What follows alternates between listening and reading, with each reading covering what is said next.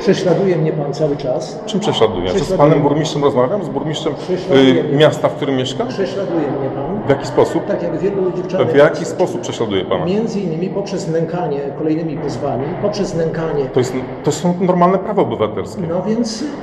Pan to nazywa nękaniem? Tak.